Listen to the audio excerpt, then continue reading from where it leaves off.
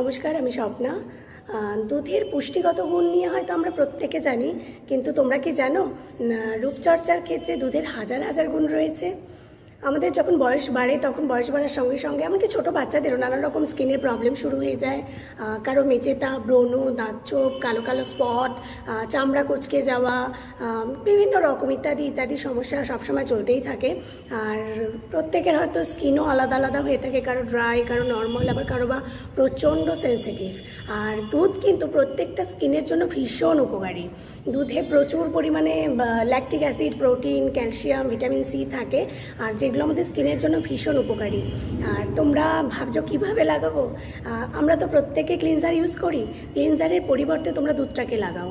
একটা বাটিতে কিছুটা দুধ নিয়ে নাও, একটা কটন বল সেটাকে দুধে চুবিয়ে ভালো করে সারা মুখে লাগিয়ে নাও। তারপর কয়েক সেকেন্ড রাখার পর আবার কটন বলটাকে দুধে চুবিয়ে ভালো করে ক্লিনজিং যেমন করে আমরা পরিষ্কার করি, ঠিক তেমন করে করো। আর তারপরে ঠান্ডা জলে মুখটাকে ধুয়ে নাও। আর হ্যাঁ যদি আরও খুব তাড়াতাড়ি খুব ভালো ফল পেতে চাও দুধ কিন্তু রাতে খুব ভালো কাজ করে। সুতরাং রাতে যদি তুমি ক্লিনজারের মতো ইউজ করে তারপরে আবার ময়শ্চারাইজার ক্রিমের মতো রাতে লাগিয়ে ঘুমিয়ে পড়তে পারো, তাহলে কিন্তু সকালে উঠে দেখবে একদম ম্যাজিকের মতো কাজ হয়ে গেছে। আজকে ভিডিওটা কিন্তু আমরা শুধুমাত্র মেয়েদের জন্য নয়, ছেলে, মেয়ে, উভয়ের জন্য। ইভেন ছোট, একদম সদ্যজাত বাচ্চা যে তাকেও কিন্তু আমরা দুধ লাগাই। আমরা কিন্তু প্রত্যেকে শুনেছি যে আগেকার দিনে রাজা, রানীরা দুধে স্নান করতো। আর ছোট বাচ্চা হলে অনেকেই বলে দেয় আমাদের দুধ স্নান করানোর জন্য।